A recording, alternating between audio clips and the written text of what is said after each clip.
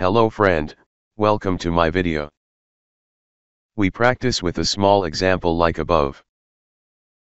This video describes how to configure VPN site-to-site -site between two Cisco ASA. On site A. Complete these steps in order to set up the site-to-site -site VPN tunnel via the ASDM wizard.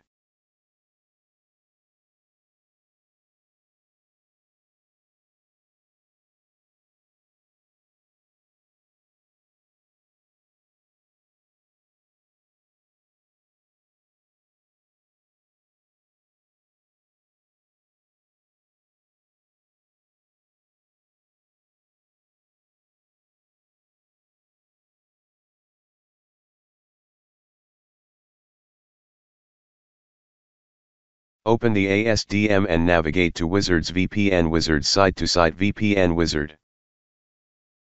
Click Next once you reach the Wizard homepage. Configure the peer IP address.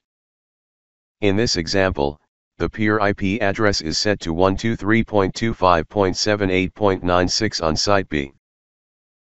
The interface through which the remote end can be reached is also specified. Configure the local and remote networks.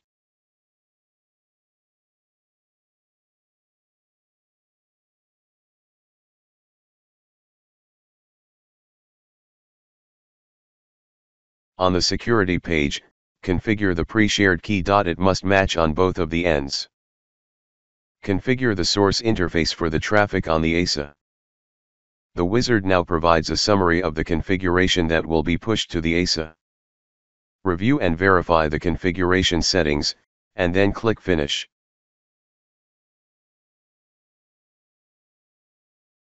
You configure the same for the Cisco ASA device on Site B.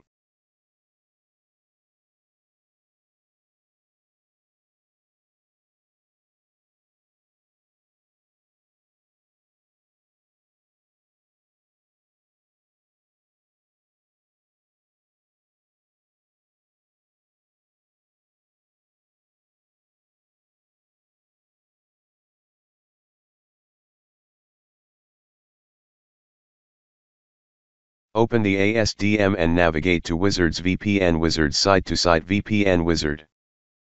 Configure the peer IP address. In this example, the peer IP address is set to 14.238.25.79 on Site A. Configure the local and remote networks.